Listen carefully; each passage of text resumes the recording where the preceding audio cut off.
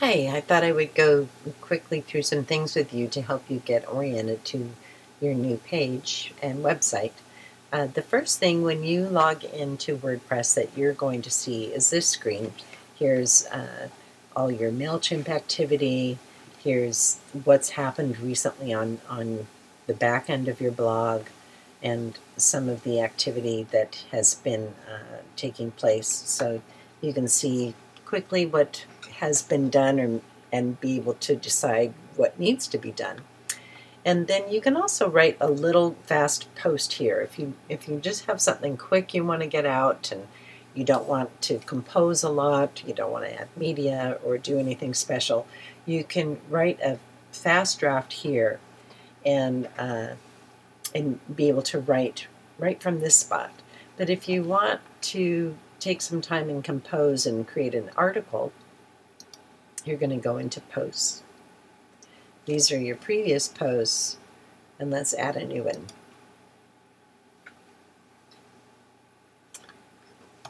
So this is your uh, post. It's un untouched, and I have prepared uh, an article here um, so we can do this quickly. Now that program here is just a uh, simple text. It doesn't do any formatting.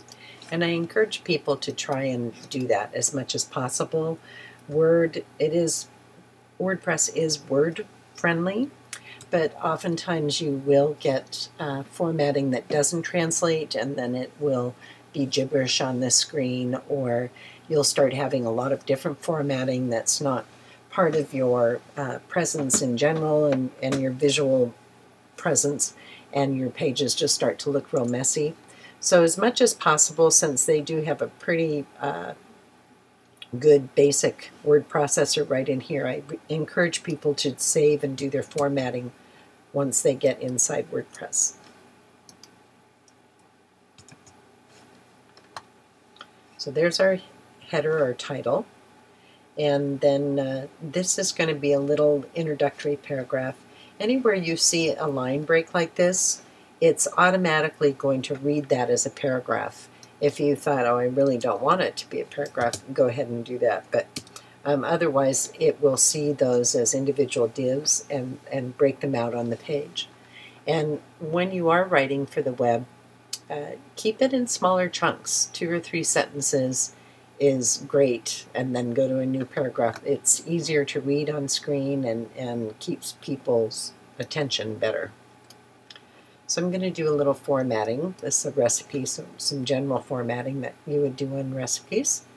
We have two main areas. I'll go ahead and make those bold. And for our ingredients, I really want to keep them together. So I'm going to go ahead and do a uh, unordered list, a little bulleted list.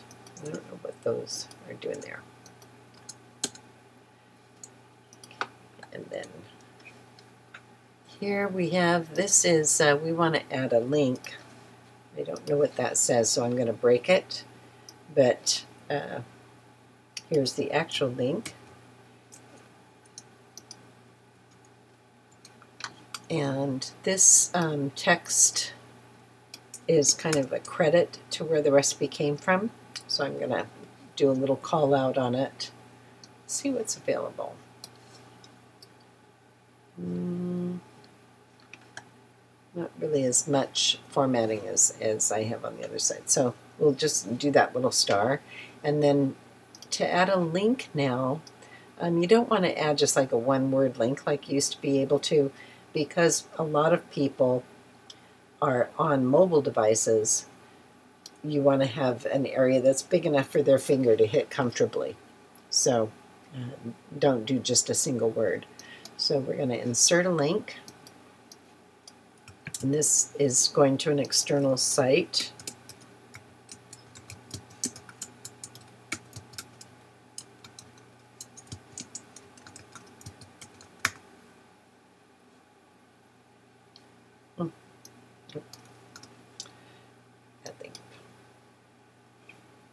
Um, let's go back there real fast. just want to show you something quickly. If you wanted to link to uh, a place, another page you have published earlier, then you would find it in this list and be able to just select it and it would take that information and, and put an internal web link, an internal link to one of your pages on. So there we go. So that is the basic part of our uh, post and we'll preview it and then we're going to stop and I'll do a new one for inserting an image.